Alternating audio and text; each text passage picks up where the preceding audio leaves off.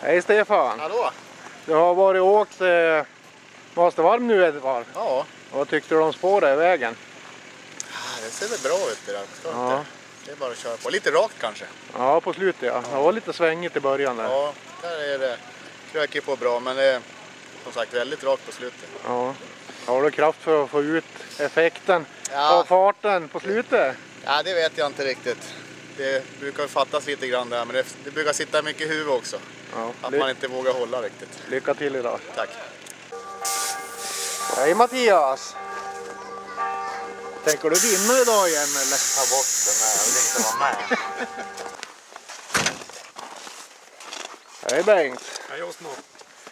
Nu kommer man precis mitt i fikan och håller på att ladda upp Det här. viktigaste. Ja, ja du blev väl, blev väl hungrig nu när du fick åka sträckan va? Jag har inte åkt den än faktiskt. Det har du inte? Nej, vi var besiktade då. Ja.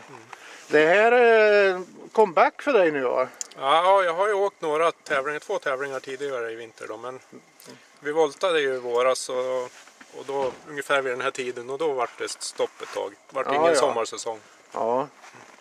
Och nu är du laddad för att Ja, jag hoppas det. lycka till idag. Ja, tack så mycket.